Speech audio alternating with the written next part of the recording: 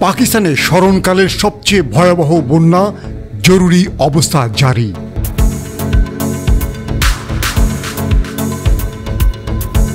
Ukraine ইস্যুতে রাশিয়াকে নিন্দা জানিয়েছে আটান্নটি দেশ।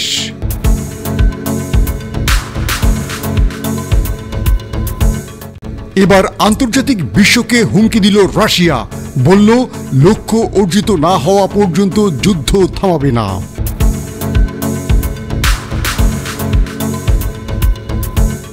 জাতিসংঘের ঘোষণার বিষয়ে এবার জোর আপত্তি জানালো রাশিয়া।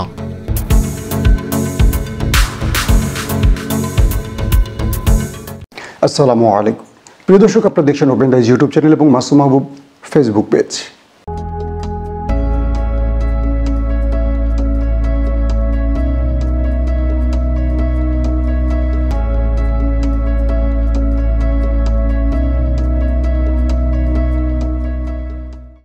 পাকিস্তানে অতিরিক্ত মৌসুমি বৃষ্টির ফলে সৃষ্ট বন্যার পানি দেশের বহু এলাকায় ছড়িয়ে পড়েছে এবং তিন কোটির বেশি মানুষ পানিবন্দী হয়ে পড়েছে। পরিস্থিতি সামাল দিতে পাক সরকার দেশে জরুরি অবস্থা জারি করেছে। ফসল চাষের জন্য সেচ কাজের পাশাপাশি পাকিস্তানের লেক ও জলধারাগুলো ভর্তি করার জন্য বৃষ্টির পানি অত্যন্ত জরুরি হলেও কখনো কখনো অতিরিক্ত বৃষ্টিপাতের ফলে এই পানি আশীর্বাদের পরিবর্তে অভিশাপ হয়ে দেখা যায়। পাকিস্তানের জলবায়ু পরিবর্তন বিষয়ক মন্ত্রী শেরি রহমান শুক্রবার দেশে জরুরি অবস্থা জারির ঘোষণা দিয়ে বলেন, বন্যা পরিস্থিতি মোকাবেলা করার জন্য আন্তর্জাতিক সহযোগিতা চেয়েছে দেশটি। পাকিস্তানের দুর্যোগ ব্যবস্থাপনা কর্তৃপক্ষ বা এনডিএমএ জানিয়েছে, গত জুন মাসে দেশের বিভিন্ন স্থানে প্রবল বর্ষণ শুরু হওয়ার পর থেকে এ পর্যন্ত অন্তত নশো ব্যক্তির মৃত্যু হয়েছে।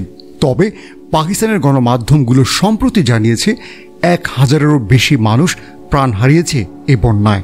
এর মধ্যে গত চব্বিশ ঘন্টায় মারা গেছে কয়েক শত মানুষ। দেশটির কর্মকর্তারা বলছেন, এ বছরের বন্যায় পাকিস্তানের এক পঞ্চমাংশের বেশি এলাকা পানির নিচে তলিয়ে গেছে। এর আগে পাকিস্তানে ভয়াবহ বন্যা হয়েছিল দু হাজার দশ সালে। সে বছর দেশটিতে দুই হাজারের বেশি মানুষ নিহত হয়েছিল। পাক প্রধানমন্ত্রী শাহবাজ শরীফ গতকাল এক বিবৃতিতে বলেছেন, বন্যায় প্রায় তিন কোটি তিরিশ লাখ মানুষ ক্ষতিগ্রস্ত হয়েছেন। এছাড়া পাকিস্তানের দুর্যোগ ব্যবস্থাপনা সংস্থা বলেছে, এবারের বন্যায় সারা দেশে প্রায় দু লাখ বিশ হাজার ঘরবাড়ি ধ্বংস এবং অপর প্রায় পাঁচ লাখ ঘরবাড়ি আংশিক বিধ্বস্ত হয়েছে।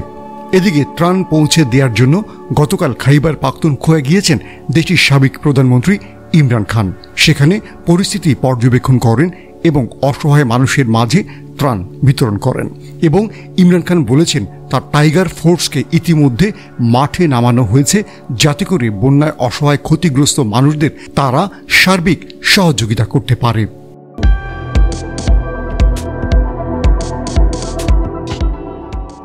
ইউক্রেনের বিরুদ্ধে রাশিয়ার সামরিক অভিযানের পরিপ্রেক্ষিতে মস্কোকে নিন্দা জানানোর প্রস্তাবে জাতিসংঘের একশো তিরানব্বইটি সদস্য দেশের মধ্যে মাত্র আটান্নটি দেশ সমর্থন দিয়েছে। সেই হিসেবে প্রতি তিনটি দেশের মধ্যে একটি দেশ এই প্রস্তাবের পক্ষে সমর্থন দিয়েছে এবং দুটি দেশ প্রস্তাবের বিরোধিতা করেছে।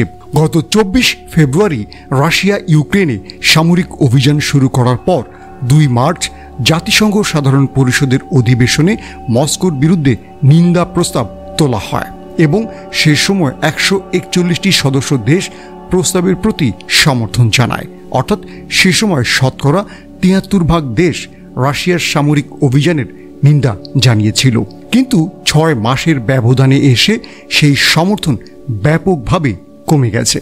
বুধবার জাতিসংঘ সাধারণ পরিষদে তোলা এই প্রস্তাবের পক্ষে আফ্রিকা মহাদেশ পারস্য উপসাগরীয় অঞ্চল এবং ব্রিক্স ভুক্ত কোনো দেশ ভোট দেয়নি। এছাড়া লাতিন আমেরিকা থেকে শুধুমাত্র কলম্বিয়া ও গুয়েতামালা ইউক্রেনের পক্ষে অবস্থান নেয়। জাতিসংঘে নিযুক্ত ইউক্রেনের রাষ্ট্রদূত এ প্রস্তাব উত্থাপন করেন।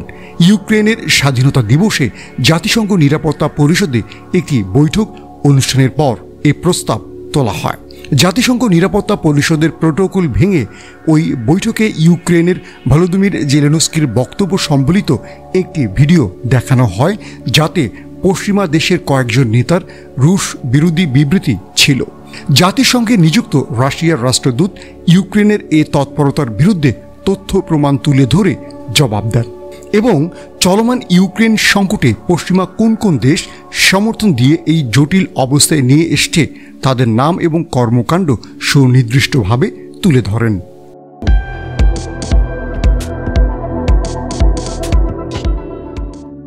লক্ষ্য অর্জিত না হওয়া পর্যন্ত অভিযান চালিয়ে যাবে রাশিয়া। এমন মন্তব্য করেছে দেশটির নিরাপত্তা কাউন্সিলের ডেপুটি চেয়ারম্যান ডিমিত্রি মেদভেদেভ শুক্রবার সাবেক রুশ প্রেসিডেন্ট এবং ভ্লাদিমির পুতিনের ঘনিষ্ঠ মিত্র ডিমিত্রি মেদভেদেভ টেলিভিশনের এক সাক্ষাৎকারে একথা বলেন। এমন তথ্য নিশ্চিত করেছে রয়টার্স। তিনি বলেন, ইউক্রেন পশ্চিমা সামরিক জোট ন্যাটোয় যোগদানের আশা ছেড়ে দিলেও এই মুহূর্তে যুদ্ধ থামাতে পারবে না রাশিয়া। গত ফেব্রুয়ারিতে ইউক্রেন আক্রমণের আগেই মস্কো পরিষ্কার জানিয়ে দিয়েছিল, তারা ন্যাটোয় ইউক্রেনীয়দের সদস্যপদ মেনে নেবে না। একটি ফরাসি টেলিভিশনকে দেয়া সাক্ষাৎকারে মেদভেদেভ বলেন, উত্তর আটলান্টিক জোটে অংশগ্রহণ থেকে সরে আসা এখনও অত্যাবশ্যক। কিন্তু শান্তি প্রতিষ্ঠার জন্য এটি আর যথেষ্ট নয়। রুশ প্রেসিডেন্ট পুতিন বলেন, তিনি ইউক্রেনকে নব্য নাৎসিদের হাত থেকে মুক্ত করতে চান। সাক্ষাৎকারে মেদভেদ বলেন হিমারস মাল্টিপল রকেট লঞ্চারের মতো ইউক্রেনকে দেয়া যুক্তরাষ্ট্রের অস্ত্রগুলো এখন পর্যন্ত বড় কোনো হুমকি তৈরি করেনি। তবে সেই পরিস্থিতি বদলে যেতে পারে। তিনি বলেন যুক্তরাষ্ট্রের দেওয়া অস্ত্রগুলো দূরবর্তী নিশানায় আঘাত করতে সক্ষম। এর মানে হলো, যখন এই ধরনের ক্ষেপণাস্ত্র সত্তর কিলোমিটার উড়ে যায়, তখন এক জিনিস, কিন্তু যখন তিনশো থেকে চারশো কিলোমিটার যাবে, তখন অন্য জিনিস। তখন এটি রাশিয়ার জন্য সরাসরি হুমকি হয়ে উঠবে।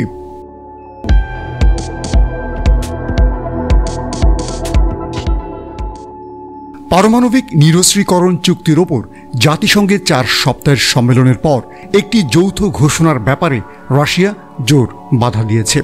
শুক্রবার মস্কো এ ঘোষণাপত্রে নিন্দা জানিয়ে বলেছে, এ দলিলে রাজনৈতিক লক্ষ্য রয়েছে।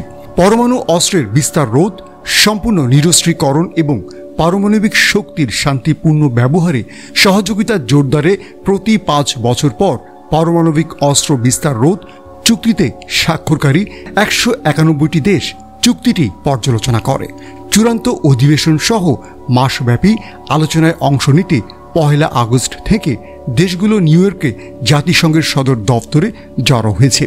শুক্রবার এই অধিবেশন কয়েক ঘণ্টার জন্য স্থগিত করা হয়। শেষ পর্যন্ত সম্মেলনের সভাপতি আর্জেন্টিনার গুস্তাভো জালাওভিলিন বলেন, রাশিয়ার আপত্তির পর এই চুক্তিটি অর্জনের অবস্থানে ছিল না।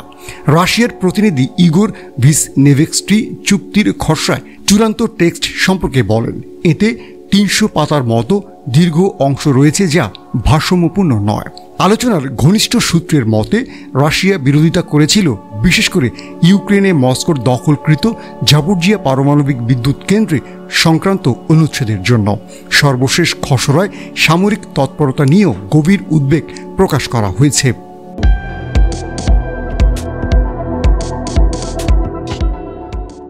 দর্শক, আজকের মতো শেষ করছি। প্রত্যেকে ভালো থাকবেন। আল্লাহ হাফেজ।